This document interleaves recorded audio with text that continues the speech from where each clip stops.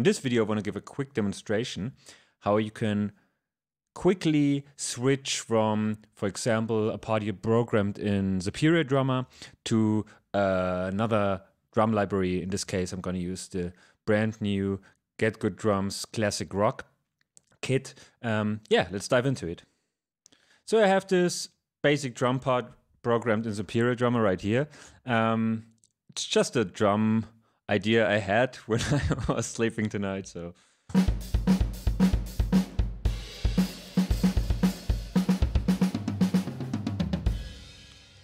I now want to convert this drum part to new Get Good Drums library. So let's first load up Kontakt. I'm gonna choose a preset, Modern Classic Processed. I like that one. If I just try to drag this down here to a new library, it's gonna sound like crap. Not like crap. It's still musical, but it doesn't work. so we need to export our MIDI. Um, however, this works on your DAW. Find it out. Um, yeah, it's Superior Drummer. I'm gonna go to MIDI remap. Choose my MIDI file.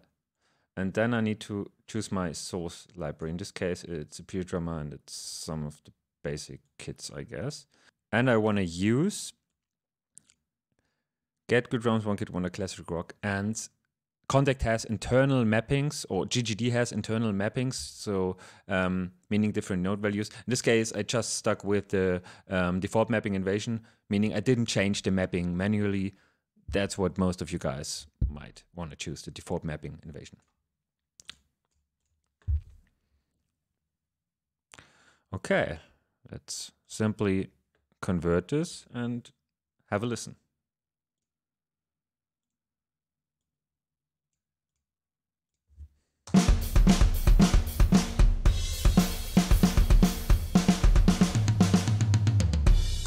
It sounds great already, but there are two things I noticed when listening to the part. Um, I remember that in my Superior drummer part, I programmed two crashes on the one together with the kick, and now I just heard one.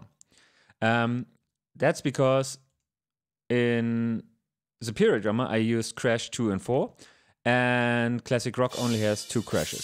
So probably crash four was also mapped to crash two. And the other thing is this fill at the end right here. The original part used um, a rack tom 2, and Classic Rock doesn't have a rack tom 2. That's why rack tom 1 is played four times. Let's have a look at MIDI remap. Crash 4. As I guessed, Crash 4 was also mapped to Crash 2, as that's the last cymbal existing. So in this case, we want to use crash one for this. So we have two cymbal sounds on the one.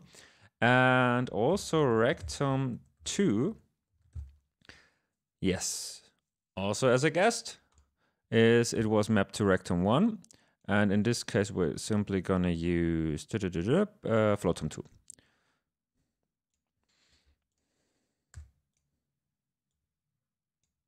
So let's have another listen.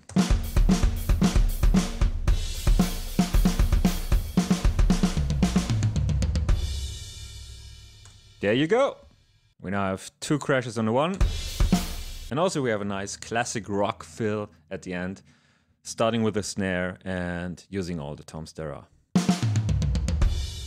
Thanks for watching this video and whatever library you want to get, get it and start converting. I suggest starting with classic rock and writing a nice, nice and heavy crunch riff or something like that. Thanks for watching.